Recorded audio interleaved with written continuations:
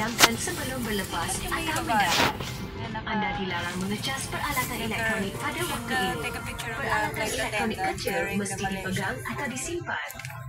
Peralatan yang lebih besar seperti komputer riba mesti disimpan. Jika peralatan elektronik terjatuh di antara tempat duduk, sila panggil anak kapal untuk bantuan. Tegakkan tempat duduk dan turunkan sandaran lengan. Letakkan meja di tempat asal dan buka tingkap anda. Perkara sama semasa mendarat. Perlu diingat, merokok adalah tidak dibenarkan dalam penerbangan. Walaupun rokok elektronik termasuk di tandas di mana pengesan asap di